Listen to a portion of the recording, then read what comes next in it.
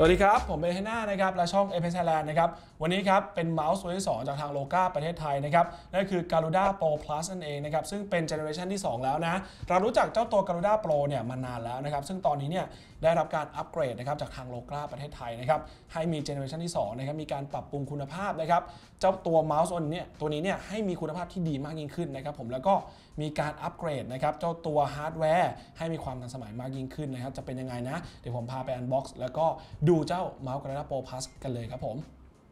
เอาละครับ เดี๋ยวจะพามา unbox นะครับ เจ้า Mouse Garuda Pro Plus ตัวนี้นะครับ ก่อนอื่นฮะ First Impression นะครับ อย่างที่บอกไปกล่องเนี่ย ให้คุณภาพที่ดีมากๆนะครับเป็นกระดาษอัดแน่นนะครับ แล้วก็มีการเคลือบ coating นะให้มีความมันเงาสวยงามนะครับเดี๋ยวผมจะพามาดูอุปกรณ์ภายในกล่องกันบ้างนะครับ ว่ามีอะไรกันบ้างนะ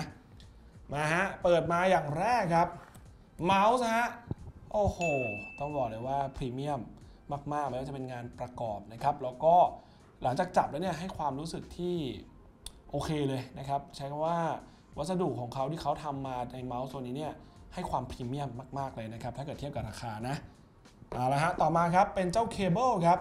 เคเบิลตัวนี้นะทำหน้าที่ 2 อย่างนะครับก็คือทำหน้าที่เป็นตัวชาร์จนะครับแล้วก็สามารถเสียบกับ dongle ในการใช้งานแบบ wireless ได้ด้วยนะครับแล้วก็แถมนิดนึงนะครับเจ้าเมาส์ตัวนี้เนี่ยมีแบตสำรองมาให้ 2 ก้อนด้วยกันก็คือสามารถใช้จริง 1 ก้อน ขนาดอีกก้อนเนี่ยสามารถชาร์จไปได้นะครับ1 ก้อนเนี่ยถ้าเกิดชาร์จเต็มเนี่ยใช้งานอยู่ที่ประมาณ 44 ชั่วโมง standby นั่นเองนะครับผม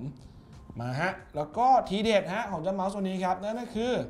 แผ่น cover ครับ ปิดด้านหลังมีมาให้กันด้วยกันถึง 3 แผ่นนะเดี๋ยวผมจะพาไปดูอีกทีหนึ่งว่า แต่ละแผ่นมีรูปแบบอะไรกันบ้างนะครับผมแต่ว่าต้องบอกก่อนว่าตัวนี้สามารถเลือกได้ว่าใครอยากจับเมาส์แบบ palm grip claw grip นะครับซึ่ง ด้านหลังของเมาส์เนี่ยหรือว่าด้านล่างของเมาส์มันจะมีความนูนที่ไม่เท่ากันนะครับสำหรับใครที่อุ้งมือใหญ่หน่อยอาจจะชอบท้ายเมาส์ที่มันโก่งนิดนึงนะครับจะได้เข้ารับกับสรีระมือได้อย่างเต็มที่นะครับผมก็ต้องลองไปปรับจูนนะครับแล้วก็ลองหา part ที่มันถนัดของแต่ละคนกันดูนะครับอะอันนี้ 2 อันนะครับแล้วก็อันนี้อีกหนึ่งอันครับนี่อันนี้อีกหนึ่งอันนั่นเองรวมเพราะว่ากล่องนี้เนี่ย มีทั้งหมด 3 อัน แต่ถ้าเกิดใครที่อยากหาซื้อเพิ่มนะครับ สามารถไปติดตามได้ที่แฟนเพจของ Loga ประเทศไทยนะ มีหลากหลายสีสันเลย Colorful ก็มีนะครับผมดีไซน์ต่างๆ ลองไปดูกันได้นะครับ นี่ฮะ dongle ครับ อย่างที่บอกตัวนี้เป็นตัว receiver dongle นะ ซึ่ง dongle จริงๆจะอยู่ในตัวเมาส์นะครับ เดี๋ยวผมจะหยิบให้ดูอีกทีหนึ่ง แต่ว่าเจ้าตัวนี้ก็คือทำหน้าที่เป็นตัวปล่อยสัญญาณ wireless นะครับแบบ 2.4 GHz นั่นเองนะครับผม อะ แบตสำรอง แล้วก็ตัวกลายเมาส์ครับแบตสำรองตัวนี้นะสามารถใช้งานได้เหมือนกันถ้าเกิดชาร์จเต็มแล้วนะครับผมก็สามารถ standby ได้นะครับผมถ้าเกิดใครที่ต้องการใช้งานแบบ wireless อย่างต่อเนื่องเนี่ยก็ชาร์จเต็มมาเลย 2 ก้อนแล้วก็ค่อยๆสลับเปลี่ยนกันใช้นะครับแล้วก็ตัว feet ครับตัว feet ตัวนี้สามารถใช้สำรองได้นะแบบให้มาเป็นแบบ 3M ด้วย เพราะฉะนั้นไม่ต้องกังวลเรื่องของคุณภาพเลยนะครับผมเดี๋ยวผมพาไปดูนะเจ้าตัวเมาส์อาจจะรวมไปถึงการเปลี่ยนแผ่นหลังให้ด้วยนะครับว่าเป็นประมาณไหนนะครับผม เอาละครับเดี๋ยวผมจะพามาเปลี่ยนนะครับแผ่น cover ด้านหลังตรงนี้นะครับ ซึ่งเจ้าตัวนี้เนี่ยใช้คำว่าออกแบบดีไซน์นะ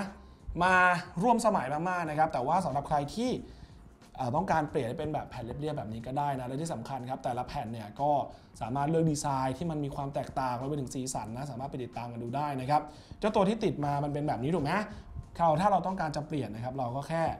ดันขึ้นครับ แค่นี้เราก็จะออกได้แล้วนะครับผม และที่สำคัญฮะเจ้าในตัวเมาส์ของ Garuda Pro Plus Wireless ตรงนี้นะครับ มีดองเกอร์ฮะอยู่ตรงนี้เอาไว้เสียบกับ receiver dongle นะครับผมเพื่อที่จะใช้งานแบบไวเลสนะฮะแล้วก็ตัวแบตเตอรี่ครับ อยู่ใกล้มาก ๆ วิธีการเปลี่ยนแค่ดันแบตขึ้นแบบนี้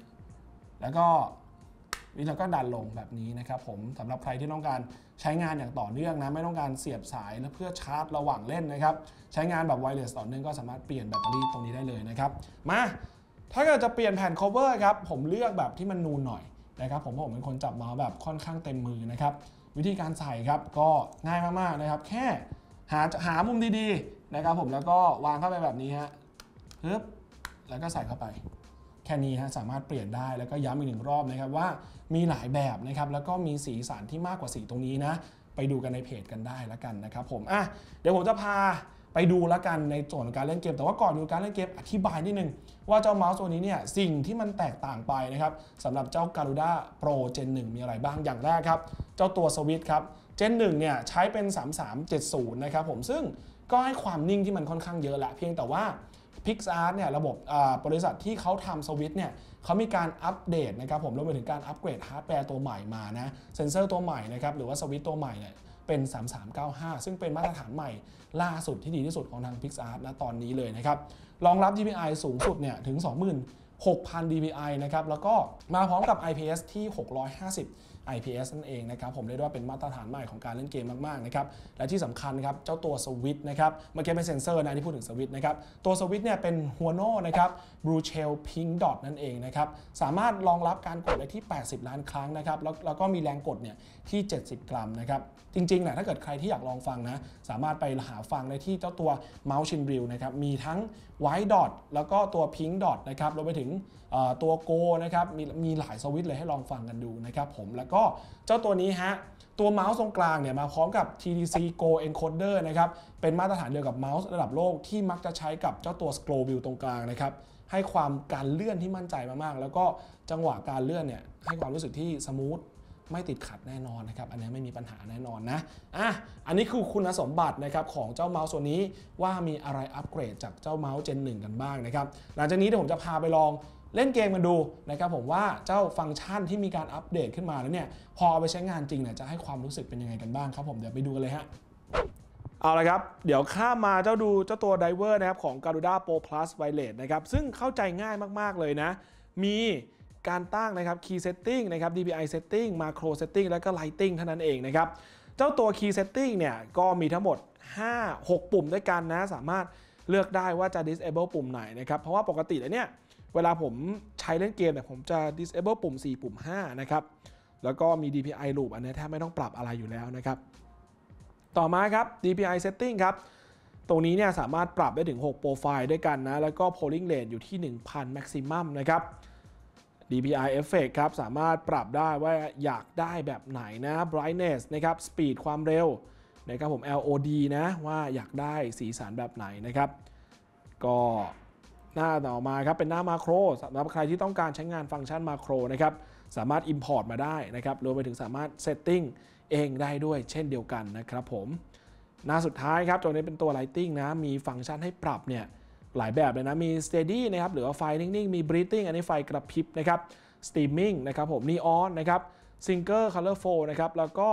Colorful นะครับ Breathing นะครับแล้วก็ปิดนั่นเองนะรวมรวมไปถึงสามารถปรับความสว่างถึง 10 ระดับ ปรับความเร็วถึง 8 ระดับนะครับแล้วก็สามารถปิดไฟนะเมื่อขยับเมาส์ได้ด้วยนะครับผมสามารถเลือกเฉดสีตรงนี้ได้ และตรงนี้คือเจ้าตัวไดรเวอร์คร่าวๆนะครับของเจ้า Garuda Pro Plus เท่านั้นเองครับผมเอาละครับ เดี๋ยวลองมาในโปรแกรม ImLab นะครับว่าทดลองใช้เมาส์นะครับ Garuda Pro Plus Wireless นะฮะมาลองซ้อมเนี่ยการ tracking นะครับ สวิตช์ของเมาส์ทดลองเล่นจริงเป็นยังไงกันบ้างนะครับอะดูฮะ เป็น Gridshot นั่นเองนะครับ เป็นโหมดซ้อมปกตินะ เมาส์เนี่ยผมตั้ง DPI ไว้ที่1,600นะครับ จากที่ทดลองเล่นดูก็ต้องบอกเลยนะว่าเนี่ยเห็นไหมจังหวะลากเนี่ยแทบไม่เป๋เลยครับ ถือว่าเฉียบอยู่นะ tracking แม่นมากครับ อ่านี่ลองแบบ aim นิดนึงโห อันนี้คือ ฝีมือของคนวัย33 32 33นะ ก็ถือว่าใช้ได้ครับ เอาจริงๆเนี่ย ผมว่าเมาส์ส่วนนี้เนี่ย ให้ความมั่นใจในเรื่องของการ aiming สูงเลยนะ เห็นไหมไม่พลาดเลยอะถ้าเกิดพลาดก็คือเป็นจากผมซะมากกว่านะครับเจ้าเมาส์ตัวนี้นี่คือเลื่อนตามากๆ แล้วก็ feeling ในการคลิกเนี่ย ตอบสนองได้แบบโอเคเลยนะครับผม ผมชอบฟีลลิ่งคลิกประมาณนี้อยู่แล้วนะครับ คือ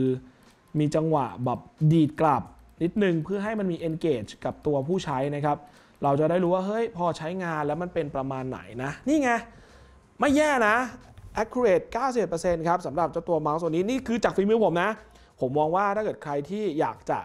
ลองเล่นเกมจริงจังมากขึ้นนะผมมองว่าตัวนี้น่าจะตอบโจทย์ด้วยนะครับเพียงแต่ว่า เราก็สามารถลองปรับนะ ไม่ว่าจะเป็นเรื่องของการจับเมาส์นะครับ เพราะอย่างที่บอกมันมี cover หลังเมาส์หลายแบบนะครับ ใครชอบจับแบบเต็มมือ ใครชอบแบบจับแบบแค่ครึ่งมืออะไรเงี้ย ก็สามารถไปลองดูได้นะครับ แล้วก็ปรับตัวให้ชินกับตัวเมาส์นะน่าจะใช้เมาส์ตัวนี้ได้อย่างมีความสุขแน่นอนนะครับยังไงก็ฝากไว้ด้วย เดี๋ยวไปดูสรุปกันเลยครับ เอาละครับ ก็จบไปแล้วนะครับสำหรับการรีวิวนะครับเจ้าเมาส์ Garuda Pro Plus ตัวนี้นะครับต้องบอกเลยว่าเป็นเมาส์ที่ให้ความรู้สึกคุ้มค่าคุ้มราคาจริงๆนะครับแล้วก็ฝากย้ำเตือนสักนิดนะฮะเจ้าเมาส์ตัวเนี้ยราคา 2,990 บาทนะครับมาพร้อมกับประกัน 2 ปีนะสามารถสั่งซื้อได้ทางแฟนเพจของโลกาประเทศไทยนะครับรวมไปถึงช่องทาง จัดจำหน่ายอื่นๆนะครับทั่วประเทศเลยนะครับยังไงก็ตามและสำหรับใครที่สนใจผลิตภัณฑ์ของโลกานะครับสามารถติดตามการรีวิวนะครับผลิตภัณฑ์ใหม่ๆนะได้ที่ทุกช่องทางของเอ p เ t แลนด์เลยนะครับผมยังไงก็ตามฮะผมแล้วก็ทีมงานเอ p เ t แลนด์นะครับฝากไว้ด้วยละกันในทุกๆช่องทางนะครับสำหรับใครที่สนใจการรีวิวแบบนี้นะรวมไปถึงคอนเทนต์รวมไปถึงทัวร์นาเมนต์ต่างๆนะครับฝากติดตามทุกๆช่องทางด้วยเช่นเดียวกันนะวันนี้ผมเป็นเดน่าครับขอตัวลาไปก่อนเอาไว้พบกันใหม่ในคลิปรีวิวครั้งต่อไปนะครับวันนี้ลาไปแล้ว สวัสดีครับ